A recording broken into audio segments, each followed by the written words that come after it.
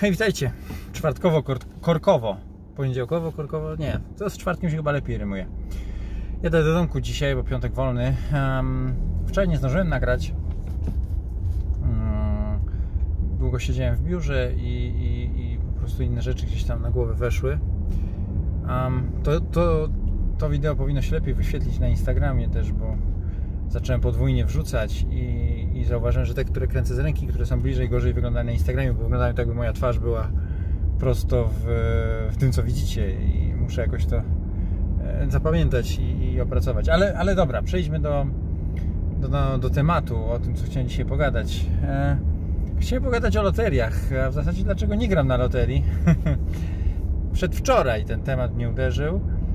Jechałem rano do pracy, zawsze słucham radia takie jakieś przyzwyczajenie. Wiem, że ono może być lekko niezrozumiałe dla wielu ludzi, którzy w tym momencie nie słuchają już radia, no ale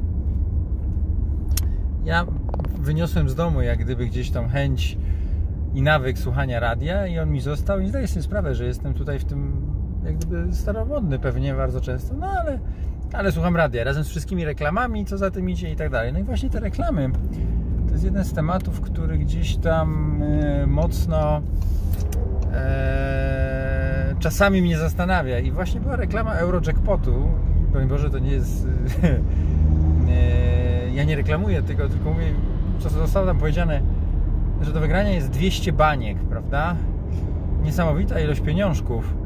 A, i to jak zwykle powodowało, że mój umysł zaczął delikatnie błądzić i zastanawiać się co ja bym zrobił z taką ogromną ilością kasy no i standardowo mówię a może bym o tym chwilę pogadał ale jak zacząłem się zastanawiać o czym pogadać, to mówię, że tak naprawdę gadam o stabilizacji finansowej, tudzież bezpieczeństwie finansowym, albo z czymś, czym może się zetknęliście i doskonale znacie, czyli niezależność finansowa.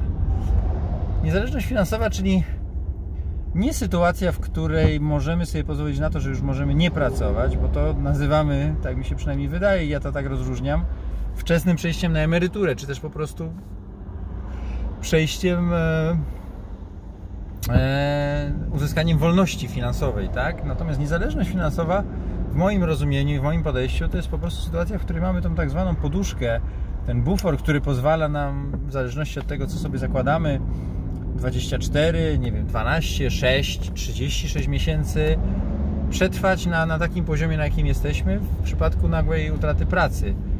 Czyli po prostu odkładamy tą kasę i ona sobie leży i jest takim naszym zabezpieczeniem. I, i u mnie się to bardzo często łączy, bo tak zaczynam się zastanawiać, co ja bym zrobił tak naprawdę, e, gdybym wygrał na loterii. I, i muszę powiedzieć, że najczęstszym e, pomysłem, jaki przychodzi mi do głowy, nie jest, że kupiłbym sobie wielki jacht i pływał dookoła świata, bo mam ogromną chorobę morską swoją drogą i ten akurat pomysł dla mnie jest bez sensu, ale po prostu myślę o tym, jak czułbym się idąc następnego dnia do pracy jak inne byłoby to podejście i to nie dlatego, że nie lubię swojej pracy czy coś, bo, bo nie, to tak nie jest. Ja bardzo lubię pracować i, i, wszystkie prace do tej pory, które byłem, w których byłem, no lubiłem tam pracować, bo czemu nie, bo po prostu lubię pracować. Więc śledząc ten cały proces od, od A do Z, to tak naprawdę wychodzi, że że po prostu dla mnie wygrana na loterii byłaby takim osiągnięciem spokoju, takiej płaskiej linii, która spowodowałaby, że najprawdopodobniej moje życie stałoby się nie stres, w ogóle wyprane ze stresu, nie wiem, pewnie tego nie, ale wyprane z problemów w większości jakichś nerwów związanych z, z przyszłością, prawda?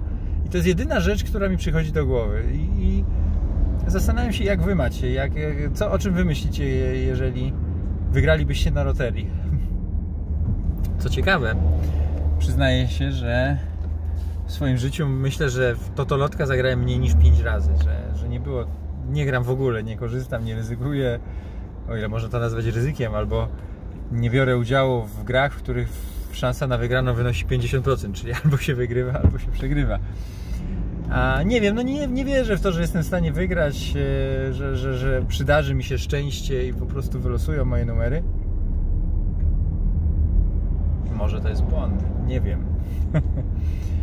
Tyle w temacie loterii i, i niezależności finansowej. Piątek zostało nam jeszcze przetrwać. Ja za moment y, zaczynam nagrywać już o moim biegu sobotnim. W sobotę ultra 48 km. Trzymajcie kciuki. Przepraszam najmocniej. I do zobaczenia.